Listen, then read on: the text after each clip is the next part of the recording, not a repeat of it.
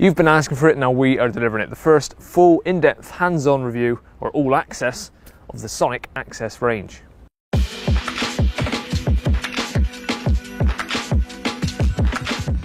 Hello there carpologists, I'm Joe and today as I just said we're going to be taking a look at the full AXS range. Now in front of me or to my left is the AXS Bivvy, over there is the AXS Shelter. The only one I don't have with me today is the AXS Brolly, but I will go through each and every one, what they have to offer, and also I've got the wrap just behind me as well, which I used last night. Now myself and Luke have been wanting to get our hands on these ever since our trip to Czech Republic last year. Link is in the description below because that was where Sonik held their trade show. We also got a bit of fishing in on there and had some lovely commons. So if you haven't seen that, click the link below, go and have a look at these and all the rest of the range. But today is going to be much more in depth on these, and we've wanted to get our hands on these for a long time because these were the standout products. And this one is actually my new personal bivy. That's how much I like them. And I'm glad I've got my hands on it because I can go through all of them now and the reasons why I chose it to be my new uh, personal bivy, but also just packs so much in to a great reasonable price. As with always with Sonik, you get a lot for your money.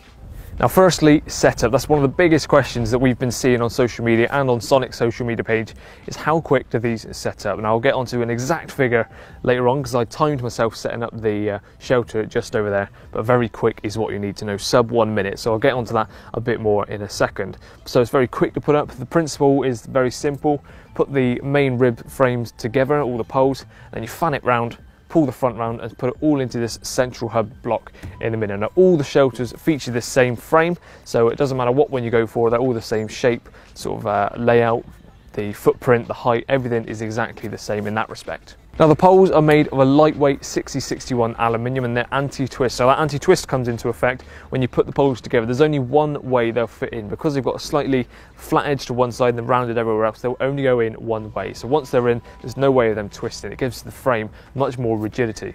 Wrapped around the poles is 10,000 millimeter hydrostatic head Cloudbase fabric. So it's nice and thick material, cuts out a lot of the light and I was pouring buckets of water on this and as you can see from the clips, it just drains straight off that. And on the front, you've got a rain gutter guard, so the rain will just pour down the sides and drain away from the front. So it's not going to drip over the front at any point. As you can see with me stood next to it, the shelter goes up fairly quickly at the back and then straight forward. That's because the flat back design allows you to push your bed chair all the way to the back. With doing that, you still need the headroom, so that's why it goes up fairly quickly at the back and then round. So I can still sit on my bed chair right in the centre, right at the back of the bed chair, and not have my head touching the roof and still see perfectly good out over the lake without crouching and hunching down. So it maximises the internal space without taking up too much of an exterior footprint. Before I move on, if you like this sort of content, the reviews in sessions and all the different things we put up on YouTube, make sure you're subscribed and hit that bell so you don't miss another upload. And also follow us on Facebook and Instagram where there's content going up every single day. Moving on to the front because there's lots to talk about. Starting off with the peak. Now this is an extremely large peak. That's one of the first things I noticed about this when we first saw them. So when you've got this letterbox style on the uh, front, you've still got so much protection that you can see out if it's driving rain, even if it's very aggressive rain, you'll still be able to see out because that gives you so much protection. The peak is very sturdy because it comes supplied with these storm poles. You also pull these tension straps just to pull it all tight to make sure that rain will just bounce off. There's no sagging points and it just gives it a nice rigidity. And even when it's been pretty blustery this session, it's been solid as a rock. Moving on to the door, as you can see at the moment, I've got it all as a completely solid front. Now this can zip in and out if you want. So if you didn't want this on here, and you just wanted to strip it back to an open fronted shelter, that comes off in next to no time. But the door itself, you've got solid green panel. If you peel that up, you've then got clear PVC, and then underneath that, you've got the Mozzie mesh panel as well. So each one of those can be rolled up individually, or you can have the door zip down slightly letterbox style, or rolled all the way up in an open fronted door.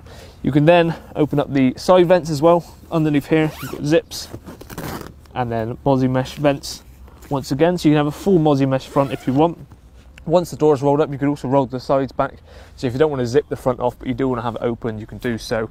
But like I said, you can also take the door off. So door on, door off, clear view, full mozzie, solid. It's completely up to you. And on the inside of the door, on the uh, mozzie mesh vents on the front, you've also got these pockets for valuables as well. So a very versatile front. Moving around to the back, we have two very large mozzie mesh vents held in place by Velcro. So if you want, you can fully remove them or roll them up, sorry, and toggle them at the top and have them as fully open vents. But if you still want some airflow, but it's raining, you've then got these little spacers. So they just pull out like so, attach it to the Velcro. There's two for each window. Put one there, one there, and it holds the vent open, but still lets rain run over the top. So you've still got that airflow. If it's a really hot, sticky day, but it keeps raining, do that, and you've still got the airflow. And lastly, on the front, we have Velcro rod retaining straps on either side. And that's pretty much everything in a nutshell. And this weighs in at just 9.2 kilos. So all of this protection, the size of the shelter as well, for sub 10 kilos is pretty impressive. That includes the two 48 inch storm poles, the full bivy itself, of course, the front infill panel, ground sheet, the pegs and the spacer bars for the rear vents. All that for less than 10 kilos is very impressive. And it all fits down in an oversized carry bag, which actually has some tension straps to weight it down so it's easy to get it in, but then you can whittle down the bag so it's not going to take up too much space as well. Now that the front's off, you can see a bit more of the inside shape. And as I was mentioning earlier, the fact that I can push the bed chair all the way to the back and maximize the space in front of me. Because of that flat back design, the back of the bed chair, I've left a little bit of a gap just so it's not touching the material, but there's still plenty of room. So that's fit perfectly, no wasted space, fit in there snug. This is a standard size bed chair, but if you wanted to go for a wide bed chair, again, it would just come forward a bit more. It would still fit in absolutely perfect. And stacks of room in front of me, that's my legs fully extended out, sat on the bed chair, and I'm not at the edge of the ground sheet. Now, I don't have the uh, front panel on at the moment, as I just mentioned, but you can see where it was and where the uh, poles go down is where the wrap goes. I'll talk about the wrap a bit more later on. I used that last night. Now, despite the fact that the bed chair is all the way to the rear of the bivvy, I'm still able to sit upright, which is a massive plus point. This is actually my personal bivvy now because I wanted to get my hands on one of these as soon as I could. So I put an order in myself because I got to see these firsthand out in Czech Republic. And at the time, I was starting to suffer a bit with bad back with my personal bivvy because I was constantly crouching down. Although it, it was quick to put up and things, it just didn't offer me enough space for the amount of time I'm on the bank. So when I saw this, how quick it was to set up, the amount of protection you get, and the fact I can sit on my bed chair upright, see all the, the uh, lake in front of me, it was a no-brainer. It's got all the things that tick all the boxes that I wanted for a quick setup, a good back, and easy to get in and out with still lots of protection. And at the back of the shelter, we've got the mesh fence that I've talked about on the outside. On the inside, they've got some pockets built in with the same mesh material, so the air still breathes through it.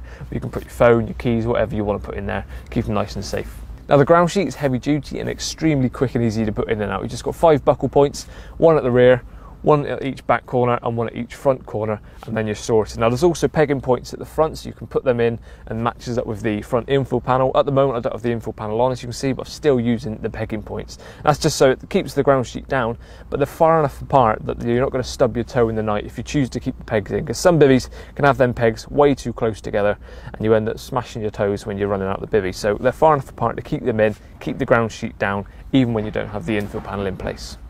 Next up we have the AXS Shelter. Now I'm not going to go too in depth with all this because it's got pretty much all the same features as the AXS Bivvy does, minus a couple of things. This doesn't come with the front infill panel or the ground sheet. But those are things you can purchase at a later date to upgrade this to the full system because it does have the zip already there ready to receive an infill panel. So that's pretty much everything you get. But this is much more lightweight and maybe it's for those of you that don't always use the front or want a, a lighter system because it's very quick to set up because I just timed myself and it took me 45 seconds pretty much to get it to freestanding, which I think you'll all agree is very impressive. Freestanding under a minute is a very quick shelter. Obviously, then it took a little bit longer to put the pegs out and the storm poles which come with it, but you're then absolutely sorted.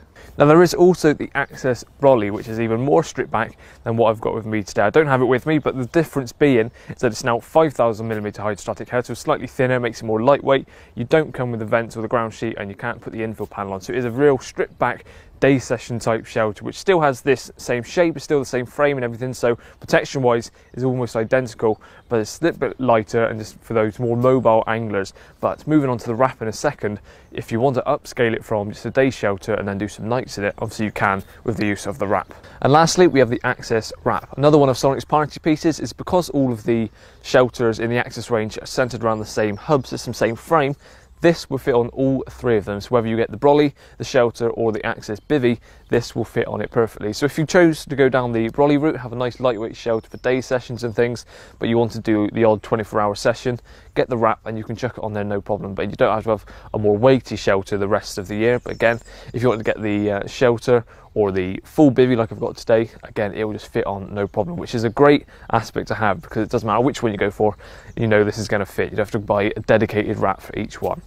Now the material on this is 10,000 millimeter hydrostatic head, the same Cloudbase material that's used on the bivy and the shelter. And I did the night, got down to about two or three degrees last night and zero condensation in there. I've, I've used twin skins before where you still get some through, but this material really is very very waterproof. It rained a lot last night as you can see it's still wet on the top but zero condensation zero moisture on the inside.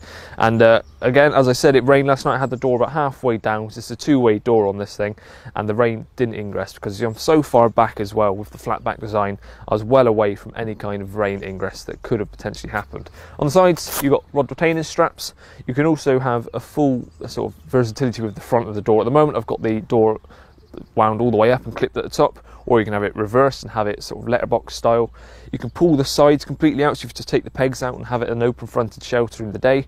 And on the front, you've got a solid panel, PVC, and Mosi mesh. So pretty much all the same features that you get on the door of the bivy itself as well. And that is pretty much the wrap in a whole. Another big advantage of having the wrap on is it gives you more space on the inside. Because you've got the large peak on the shelters themselves, it just drops down from the front there. It gives you probably an extra foot of space on the front. So I've taken the infill panel off the bivy to give me that extra space. But if you wanted to keep your infill panel on, or the front panel of the bivy, and then put the wrap on, obviously you've got dual skin all the way through. But I took my infill panel off just so I've got that extra space and no issues, even when it did rain last night. And lastly, and one of the best things about this, as always with Sonik, is the price because they stand for value for money and looking after anglers that perhaps maybe on a bit more of a budget but don't want to cut corners on the quality. So starting off with the AXS Bivvy, this is one that I've opted for, all bells and whistles, everything included, just 269.99, which I think you'll agree is exceptional value for money, especially if you pit this up against other market brands which have offer similar sort of things but probably twice or maybe even three times the price. They really are great value for money. If you're still not convinced by this try and get to a show or something get hands on and i'm sure once you see this you'll be just as impressed as me and luke were when we first saw it out in uh, czech republic and just over my shoulder you got the AXS shelter and that one comes in at 179.99 remember that one doesn't include the infill panel or the ground sheet but you can buy those items at a later date because it comes with the zip ready for the infill panel if you want to upgrade to the full system. And then lastly, you've got the Brolly. That's the whittled down version, the 5000mm hydrostatic head, doesn't have the vents and the ground sheet and things, and that one comes in at just 129.99. But don't worry if you go for any of those and you still want a second skin, you just have to get the wrap at 129.99 it covers all three of these systems so even if you go for the the lightweight brolly system just for day sessions but want to use that for overnight or twin skin it get the wrap and it sticks on no problems. So for more information on all of these items, please head over to the Sonik website. Don't forget to subscribe and follow us on Facebook and Instagram as well. Cheers for watching and see you again soon.